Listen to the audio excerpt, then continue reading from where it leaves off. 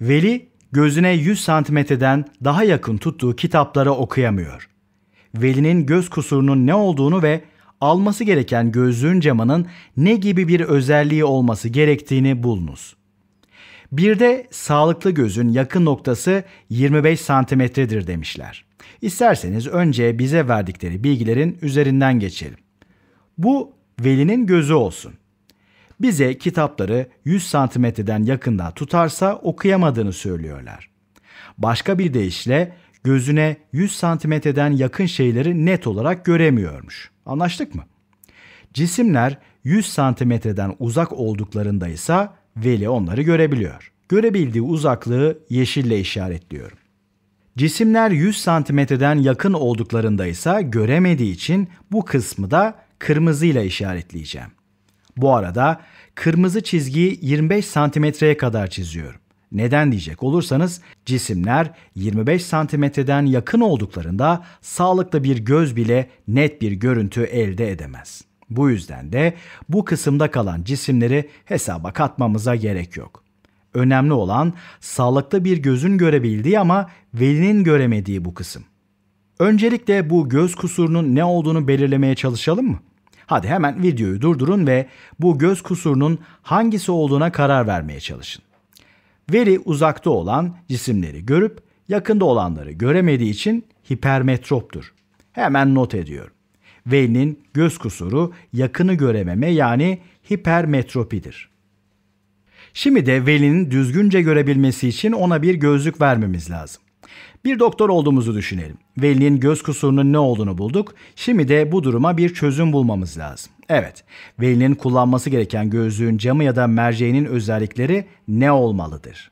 Bu noktada aklımıza gelen ıraksak mı yoksa yakınsak mı bir mercek kullanmamız gerekir acaba sorusu olacaktır. Ama bunu düşünmemize bile gerek yok. Neden mi? Hemen bir merceğin gücünü nasıl tanımladığımızı hatırlayalım. Optikte güç yani P 1 bölü odak uzaklığı olarak hesaplanır. O halde velinin kullanması gereken gözlük camının odak uzaklığının ne olduğunu bulursak merceğin yani gözlük camının gücünü de bulmuş oluruz öyle değil mi? Peki odak uzaklığını nasıl bulacağız? Cisimler ve görüntülerini düşüneceğiz. Hemen anlatayım. Sağlıklı bir gözün yakın noktası buydu öyle değil mi? Evet buraya yakın noktası yazıyorum. Normal yani sağlıklı bir göz bile bundan daha yakın olan cisimleri net olarak göremez demiştik.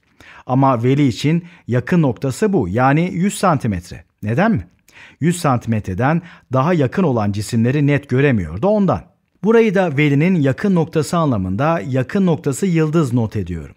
Şimdi velinin buradaki 25 santimetreye kadar konumlanmış tüm cisimleri görebilmesi gerekir öyle değil mi? Peki bunu nasıl yapacağız?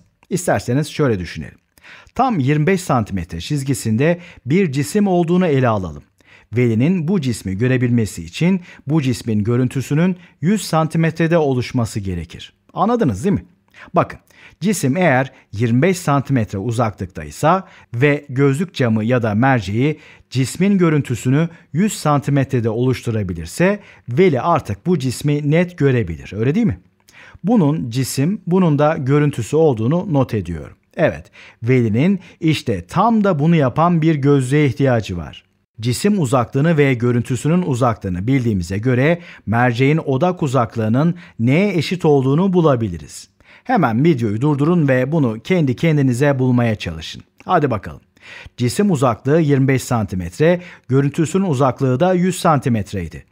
Bu noktada işaretlere dikkat etmemiz gerektiğini de aklımızdan çıkarmamalıyız. Mercek göz önünde olacak. Bu da ışınların geliş yönünün bu olduğu anlamına gelir. Bu yön pozitif yön olacak. Bu durumda optik merkezin sağında kalan uzaklıklar pozitif, solunda kalan uzaklıklarda negatif olur. Cisim uzaklığı bu tarafta olduğundan negatif olacak. Önüne eksi koyuyorum. Eksi 25 santimetre. Görüntüsü de bu tarafta olduğundan o da negatif olacak. Bunun da önüne eksi koyalım. Şimdi de mercek formülünü kullanalım. U ve V'nin neye eşit olduğunu bildiğimiz için F'in neye eşit olduğunu bu şekilde bulabiliriz. Burada kendimize biraz yer açayım. Önce formülü yazayım. 1 bölü F eşittir 1 bölü V eksi 1 bölü U. Buradan bir bakalım. 1 bölü V eksi 1 bölü 100 olacak.